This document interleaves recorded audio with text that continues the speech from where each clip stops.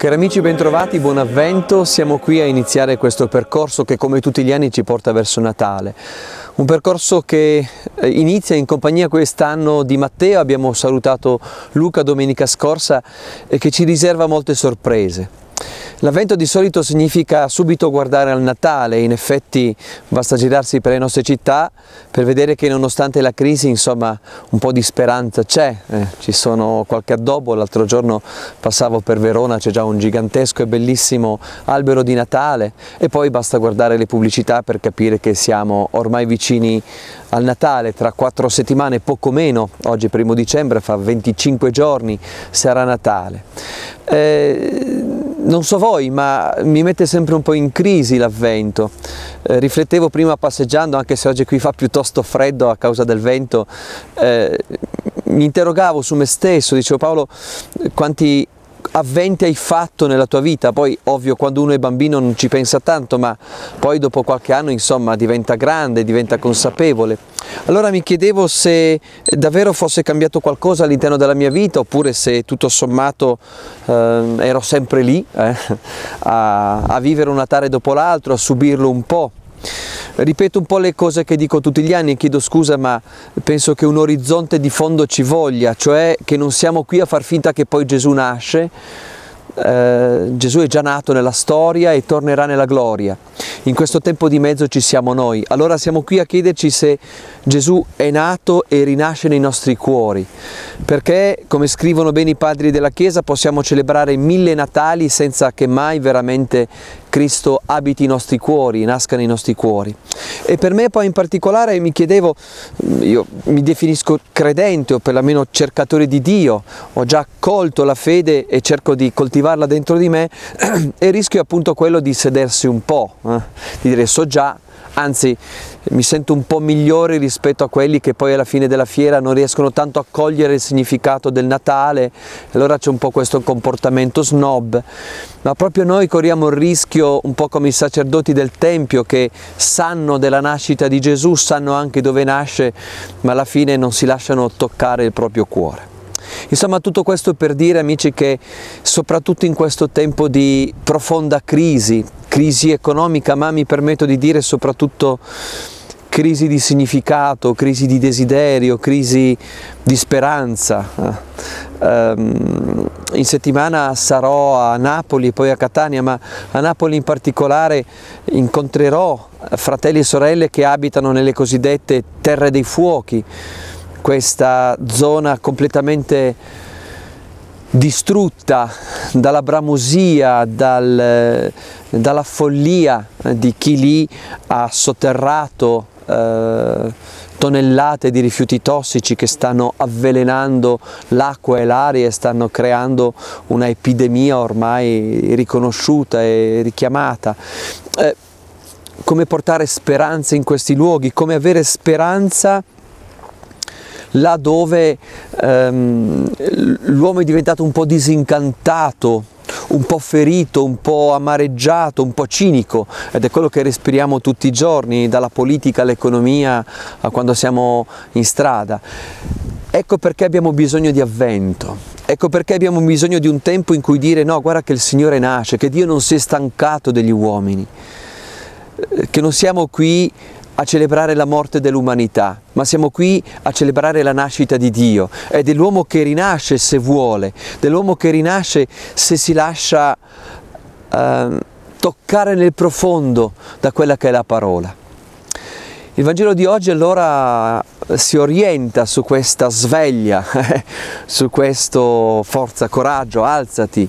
Siamo qui in attesa del ritorno del Messia, ma lasciar nascere Cristo dentro di noi. E così nella prima lettura il profeta Isaia, il grande profeta Isaia, osa immaginare ciò che era inimmaginabile, cioè eh, una folla di tutti i popoli che salgono a Gerusalemme, che salgono a celebrare il Dio di Israele.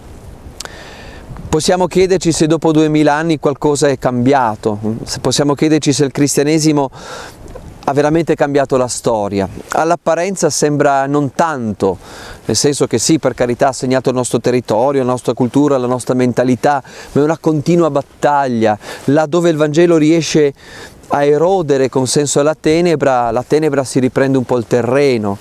Pensate per esempio il Natale come ahimè è stato un po' svuotato di ogni significato. Allora io non sono un talebano, lo sapete, quindi fate l'albero di Natale, fatevi i regali, però invitiamo il festeggiato a questa festa di compleanno perché il grosso rischio paradossale di fare una magnifica festa di compleanno scordandoci l'invitato.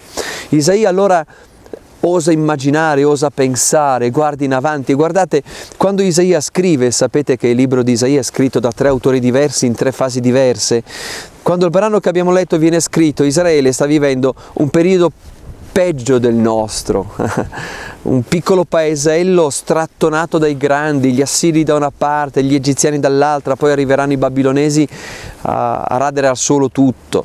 E, e a volte abbiamo un po' questa impressione di quest'uomo che non impara, di quest'uomo che non impara, dell'uomo che non riesce ad andare d'accordo. Eppure qui dentro la parola di Dio arriva prepotente e ci sprona.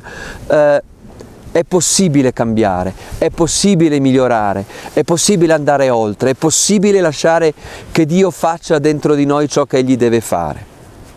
E così allora il Vangelo di Matteo, eh, riprendendo un po' il Vangelo di due domeniche fa nella versione di Luca, eh, con questo linguaggio chiamato apocalittico, prova un po' a immaginare non la fine del mondo, ma il fine del mondo.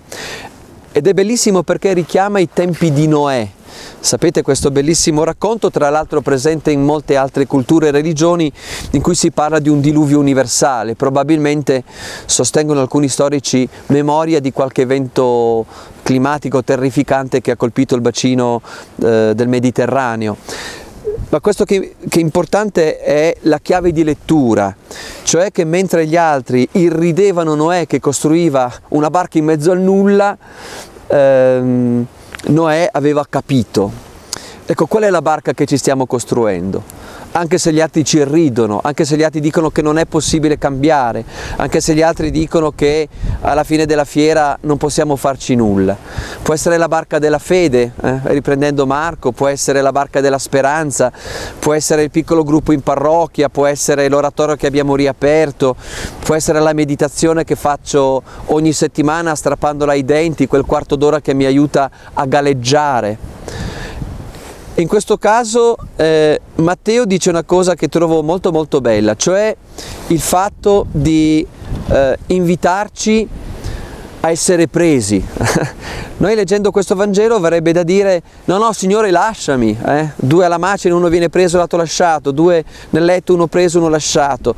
Io invece oggi prego Signore prendimi, prendimi, non lasciare che la vita mi anestetizzi, non lasciare che le sofferenze della vita mi incupiscano, non lasciare eh, che i problemi che stiamo vivendo mi allontanino dall'essenziale, che sono un cercatore, che ho un'anima, un'anima bella, splendente, che devo coltivare e far crescere. Ecco allora che questa prima domenica è tutta indirizzata a far sì che la nostra vita sia eh, orientata, sia sveglia. Mm?